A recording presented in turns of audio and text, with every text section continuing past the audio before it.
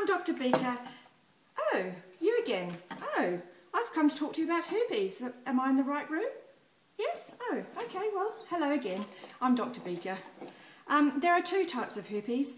Uh, it is a virally sexually transmitted infection caused by the herpes simplex virus. There is HSV1 and HSV2. HSV1 is normally the uh, virus that gives you the cold and HSV2 uh, usually gives you herpes around the genital area and rectum. It is most common and is also most prevalent in women. You must know that herpes are transmitted through skin contact with an open lesion, vaginal, anal or oral sex with someone who is infected with this virus. The virus is most easily spread through open sores, but you can get it from skin that doesn't have an open sore. Please remember this. It can be transmitted from mother to baby at delivery if the mother has symptoms or blisters at the time of delivery. Uh, type 2 mainly has no symptoms, but if symptoms do arise, uh, it usually takes about two weeks to show after the virus is transmitted. This will show as painful, painful blisters around the genital area or the rectum.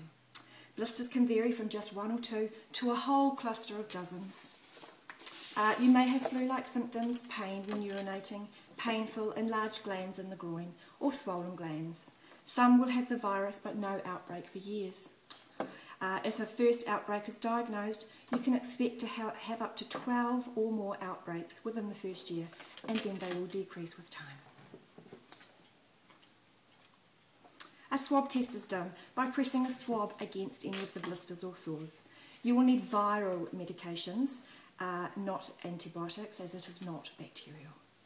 Uh, as it is viral, there is no cure, and unfortunately, once you have this virus, you will have it for life. It may lie dormant, it may not. Aspirin or paracetamol may help with the pain of the blisters. Uh, and bathing once a day, oh, not yet, dear, not yet, dear. bathing once a day in salty water and drying appropriately may also help the blisters. Okay, go.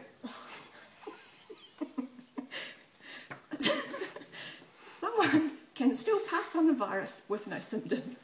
You will get painful genital sores. These blisters will eventually burst, leaving tender, open wounds that will take about two to four weeks to heal. They can be itchy, so please remember this. Uh, just to let you know that the virus does create more psychological distress than physiological, but it's okay, you're not alone. This is a life-threatening uh, disease for unborn babies and will require a caesarean section to deliver if herpes are active at the time of birth. Thank you. See you next time.